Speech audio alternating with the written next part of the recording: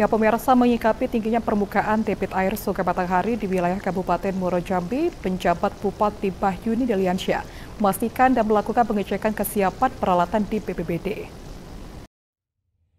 Penjabat Bupati Muaro Jambi Bahyuni Deliansyah melakukan pengecekan kesiapan peralatan dan personil di BPBD Muaro Jambi. Hal ini untuk menghadapi banjir yang saat ini telah melanda di Kabupaten Muaro Jambi. Penjabat Bupati Muaro Jambi Bahyuni Deliansyah mengatakan, dirinya meminta kepada anggota BPBD khususnya tim reaksi cepat untuk melakukan meeting terhadap 64 desa yang kategori rawan terendam banjir. Saya berkunjung ke kantor BPBD Kabupaten Muaro Jambi.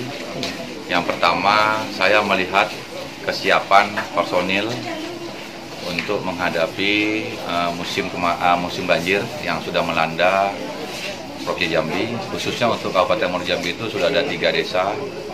Kemarin saya tinjau dan dua hari yang lalu juga ada tiga desa, artinya sudah ada enam desa di dua kecamatan yang berpotensi terjadi banjir.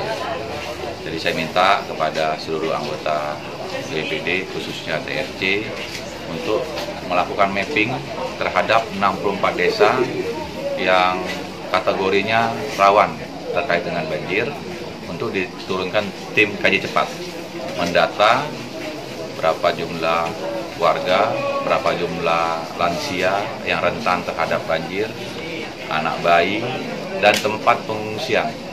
Sehingga nanti apabila terjadi bencana banjir, siapa berbuat apa, desa berbuat apa, BPPD berbuat apa, Dinsos berbuat apa, semuanya berjalan sesuai dengan Diketahui saat ini telah ada enam desa di Boro Jambi yang terendam banjir di tiga kecamatan. Selain melihat kesiapan peralatan BPBD, penjabat Bahyuni meminta kepada pemerintah dan masyarakat yang terdampak banjir untuk waspada terhadap banjir kiriman dari wilayah huluan.